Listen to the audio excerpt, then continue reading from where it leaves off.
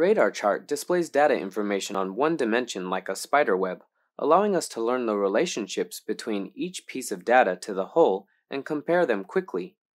Take this table as an example, which is a table of the competency rating of three employees this year.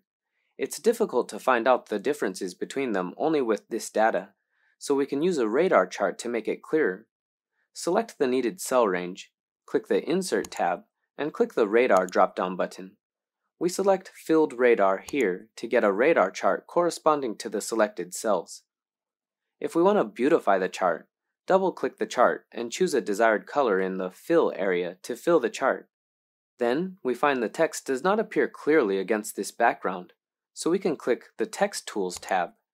Select the text that we need to edit, and click Text Fill to change its color to white. We can also change the fill color blocks of these three employees.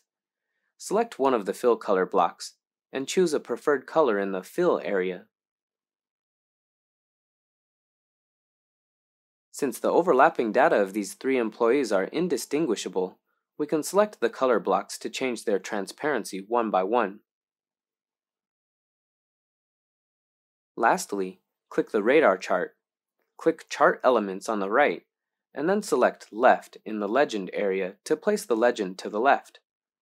Such a simple yet elegant radar chart is done. With this chart, you can quickly find the employee with the highest overall quality.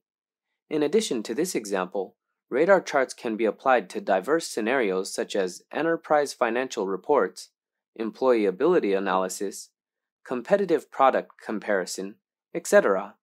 Did you get it?